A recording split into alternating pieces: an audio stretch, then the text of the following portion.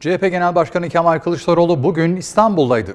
Hayatının anlatıldığı belgesel gösterimine katılan Kılıçdaroğlu, bizim hedefimiz bu ülkeye birinci sınıf demokrasiyi getirmek dedi.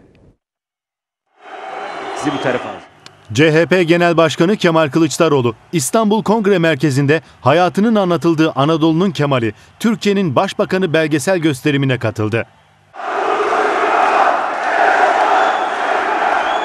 Kısa bir söyleşinin ardından salonu dolduran partililere belgesel izletildi. Tunceli'nin Nazımiye ilçesinin Balıca köyünde doğmuşum.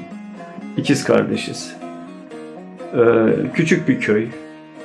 Ben iki kardeşimin e, vefatını hatırlıyorum. Ee, yedi kardeş hayattayız. Beş erkek, iki kız. Gösterimin ardından kürsüye gelen Kılıçdaroğlu hayatından ilginç anekdotlar anlattı. Yaşını mahkeme kararıyla küçültüyorlar ve babam ilkokula başlıyor. İlkokul mezunu zaten. Onun direnci bizi buralara taşıdı.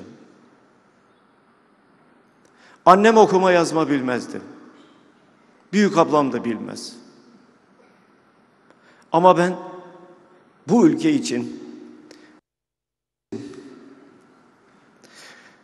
pırıl pırıl üç çocuk yetiştirdim.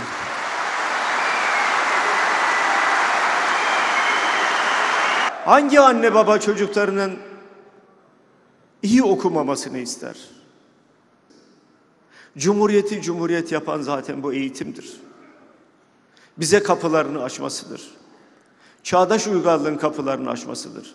Bize fırsatlar vermesidir. Kılıçdaroğlu konuşmasını şu çağrıyla noktaladı.